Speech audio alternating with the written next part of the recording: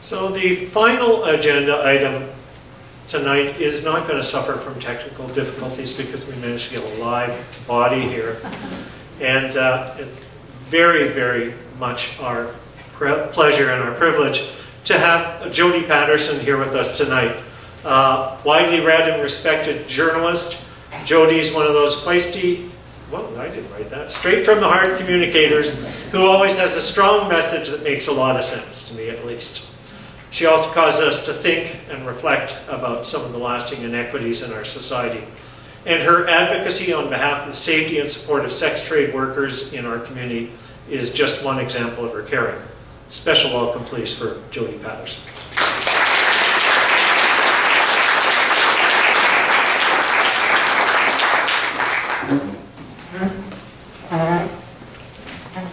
Thanks very much. Uh, I have a particular soft spot for Literacy Victoria. I think you were one of the first uh, organizations I met when I moved here in 89, doing, starting reporting work with the Times Colonist. Now, before I speak, I do want to point out, in case you're thinking, wow, that's bold, orange shoes and a red jacket. In fact, I put on this jacket and was supposed to change my shoes. And then in a distracted state, I ran out the door and didn't realize until I was walking down Menzies and looked down and thought, so I don't actually wear orange shoes and a red jacket, just to be clear. but here I am, stuck. Um, so thank you very much for uh, asking me to speak, and uh, I know all the great work that you do, and I was uh, looking through the, the um, AGM report and seeing even more of it. And uh, obviously, in the kind of work that I've done around uh, with sex workers and with people who are living homeless and lots of addictions and mental illness, obviously literacy is a huge issue. Um, the the funny thing is, you, you, I mean, people are kind of like a, an onion, right? They come with so many issues when they uh, when you first meet them.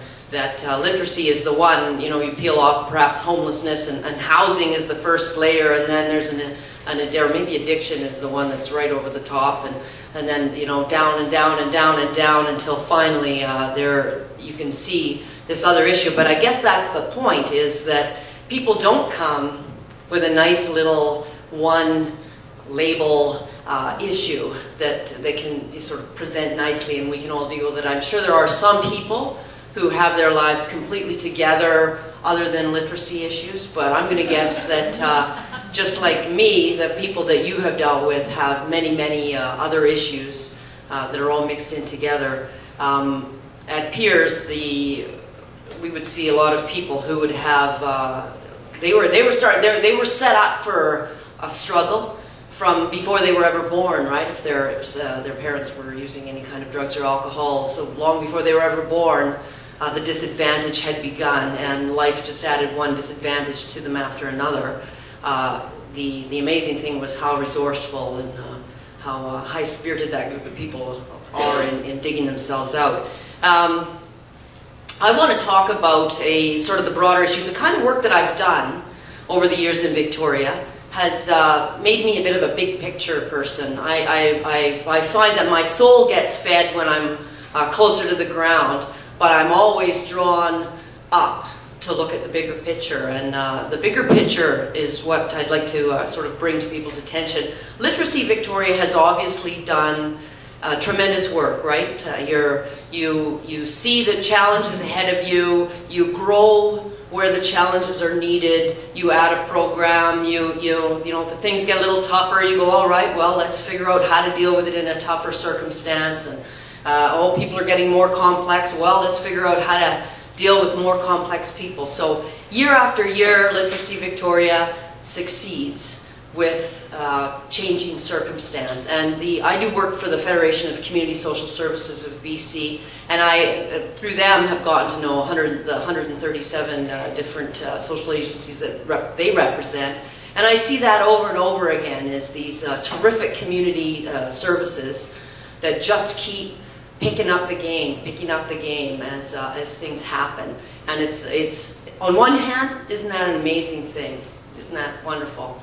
On the other, where do we back up? Who? Who, who are the people who back up to look at the bigger picture and what's, what's, what's happening? What's happening? Why are people more complex than ever? Why are you dealing always with uh, more work for less money? Why is it always only going in a negative direction that everybody then has to become positive and resourceful and entrepreneurial about and uh, do something about that? When you, um, I remember doing the, uh, uh, I was on the, the task force that led to the Coalition to End Homelessness here in Greater Victoria. And the task force took about two years of incredible, amazing work. But what you could see in that task force, you know, everybody had this vision of this uh, group that was going to get formed and they were going to somehow deal with homeless problems in, in Victoria. We're just going to go away. We're just going to handle that uh, issue. But what you really saw when you got into it was dozens, hundreds perhaps, of policies that and practices and realities and shifting world circumstance and you name it, all these factors that were uh, that were actually involved in solving homelessness. It wasn't about build a house and stick somebody in it. I mean, at its essence, there's that piece. Just like literacy isn't about sit down with someone who has no other needs and and help them uh, develop their literacy skills, right? It's about all of this other things. And uh, it definitely was like what we saw, uh, just as an example. Uh, you can't really address the problems of homelessness on the income assistance levels that we have because they don't pay the rent. So if you can't pay the rent, even if you have a house, then the rent is a major block for that issue. And so now, to solve that piece, you would have to go and change welfare policy in BC.